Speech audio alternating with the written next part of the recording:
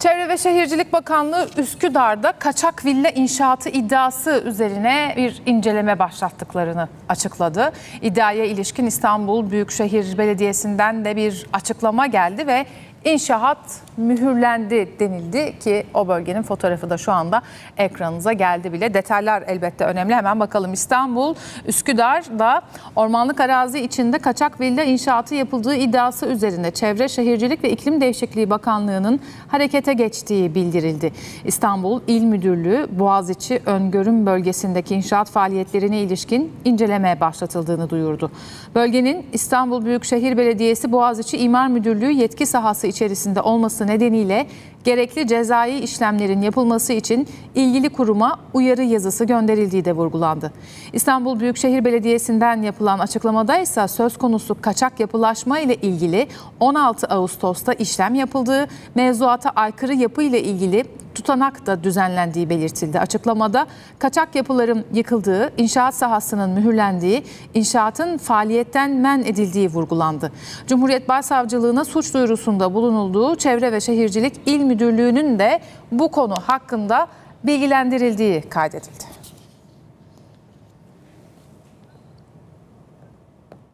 Şimdi e, ekranınızda tam da bu konuyla ilgili beni e, arkadaşlarım uyardılar. E, Adalet Bakanı'ndan bir açıklama geldi. Değil mi? Yılmaz Tunç'un açıklaması şu anda ekranlarınızda. Hemen bir okuyalım birlikte. İstanbul'un Üsküdar ilçesi Vaniköy semtinde bulunan ve Boğaziçi Öngörüm bölgesinde yer alan yapı ile ilgili olarak Türk Ceza Kanunu'nun 184. maddesi uyarınca imar kirliliğine neden olma suçundan Anadolu Cumhuriyet Başsavcılığı tarafından resen soruşturma başlatılmıştır. Dünyanın göz bebeği İstanbul'umuzun doğasını bozacak hiçbir olumsuzluğa asla müsaade edilmeyecektir. Soruşturma titizlikle sürdürülmektedir dedi e, Bakan Yılmaz Tunç şu anda. Şu cümle önemli tabii.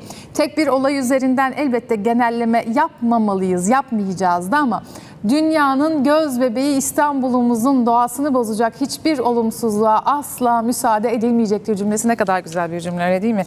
Şimdi geçtiğimiz yıllara özellikle AKP iktidarı döneminde hangi kararların nasıl alındığına, o İstanbul'un, o güzelim İstanbul'un e, nasıl değiştiğine, süliyetinin içindeki ha, yani yapıların Zaten bir taraftan da biliyorsunuz işte Kanal İstanbul'la ilgili her şeye rağmen bir ısrarda devam etmekte.